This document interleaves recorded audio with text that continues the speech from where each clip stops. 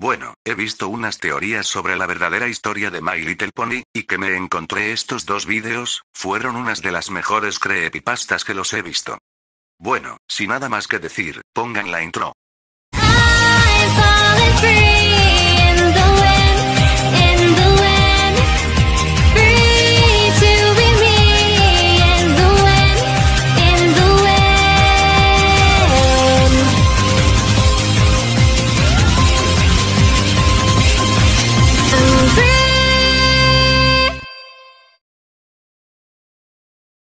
Hola amigos de Youtube, como vieron, hoy haré la crepiteoría de la verdadera historia de My Little Pony, pero con mi propia versión.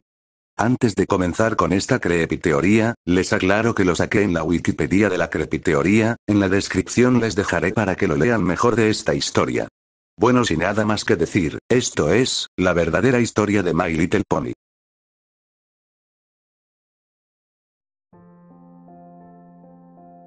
Hablaba de seis chicas que iban a una misma escuela en Carolina del Norte, y que murieron el mismo día en el 18 de enero de 1989, pero fueron asesinadas en ese mismo día en aquel entonces, terminan muriendo de ahí.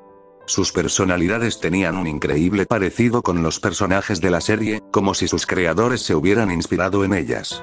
Y eso es lo que veremos a continuación. Número 6, Samantha Gales. La primera chica, Samantha Gales, era relacionada con Fluttershy. Era muy tímida, o introvertida, tanto que nunca dijo el infierno que vivía en su casa con su madre, la tuvo muy joven, y la culpaba constantemente de arruinarle la vida. Su padrastro, tampoco le prestaba atención, y cuando le tocaba cuidarla, la encerraba en un sótano con llave, a veces por un día entero.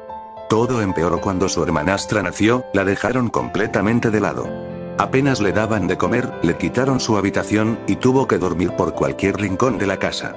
Su único consuelo eran los animales que rescataba de la calle, los cuales cuidaba con mucho cariño. Aún así, su desesperación se volvió tan grande que decidió que no valía la pena seguir viviendo, pero afortunadamente ella está a punto de dar su destino final, termina asesinada. Número 5, Janice Walters. La segunda chica, Janice Walters, la inspiración de Rarity siempre fue de las más populares de la escuela.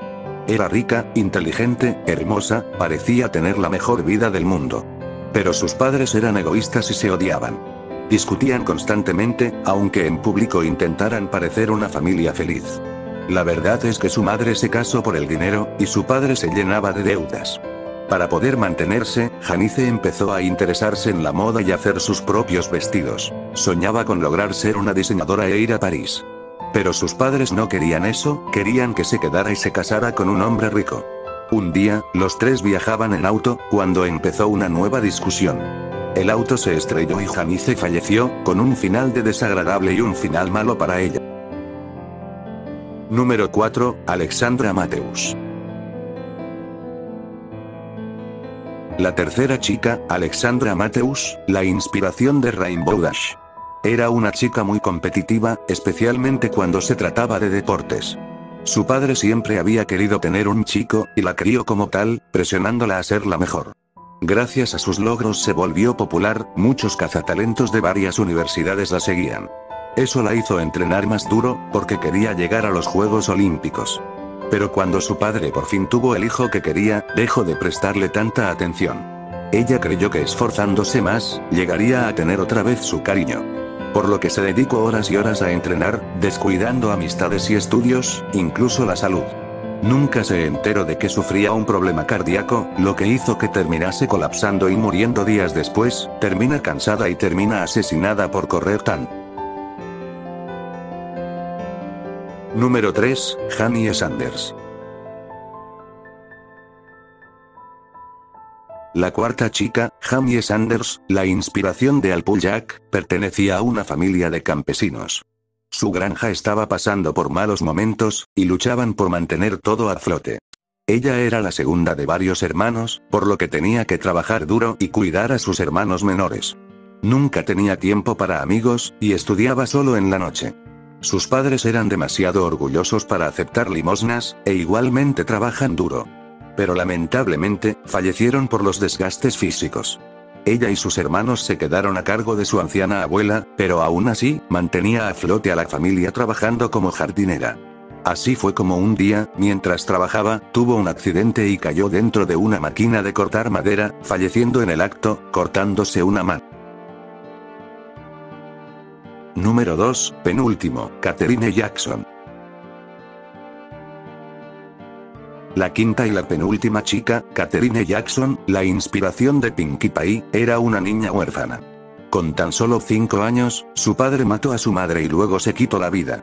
Desde entonces, saltó de hogar en hogar, pero las familias que la adoptaban, se interesaban más en las ayudas financieras que podían conseguir que en ella. Además, los recuerdos la atormentaban y la hacían perder cada vez más su cordura. Tenía pesadillas de su madre gritando y su padre prometiendo volver por ella. Al comenzar la secundaria, empezó a tener alucinaciones y a comportarse de forma extraña. Sus compañeros pensaron que simplemente era hiperactiva, y se dedicaba a dibujar cosas de fantasía. Un día, una voz en su cabeza le dijo que podía volar, así que saltó de lo alto de un edificio, y muchos, la muerte de esta joven, es considerado la más triste de todos. Bien, llegamos a lo último, a la que todos están esperando. Número 1, y final, Cynthia Little. Por último, la última chica, Cynthia Little, la inspiración para Twilight Sparkle. Desde pequeña, demostró ser buena estudiante, y fue ascendida de nivel, igual que su hermano menor, que demostró ser bueno en los deportes. Sus padres alardeaban orgullosos, decían que no tenían un genio, sino dos. Pronto una academia de superdotados se interesó en ella. Cynthia sabía que era una muy buena oportunidad, pero no habían muchas vacantes por lo que empezó a desesperarse y a estudiar por el gran examen que tenía que pasar, hasta casi dejar de comer y dormir. Entró en pánico al acercarse la fecha, así que hizo trampa y se copió el examen. Pero le terminaron atrapando, sus padres se horrorizaron. Y ella cayó en una profunda depresión, acabó quitándose la vida para evitar la vergüenza, y termina muriendo de la peor manera.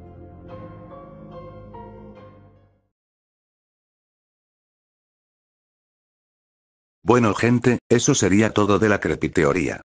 Si desean ver estos dos vídeos y su historia, abajo de la descripción les voy a dejar para que lo vean o lean lo mejor imposible para verlo mejor, mi conclusión final, fue una excelente crepiteoría que he escuchado en toda mi vida, de calificación que le debo es un 8.5 de 10, debido a unas de las peores muertes más tristes con esas chicas, no se los merecería por tener su destino final. Y la segunda y última cosa, es que ya somos de 400 suscriptores, en verdad nunca llegaría lejos de esa cantidad con mi otro canal anterior, bueno, iré haciendo el fanfic de mi serie, esto quiero decir que ese capítulo 1 de retraso mucho, técnicamente esto es para dejar un poco descanso a YouTube. Bueno, no tengo nada más que decir, nos vemos el próximo video, se me cuidan.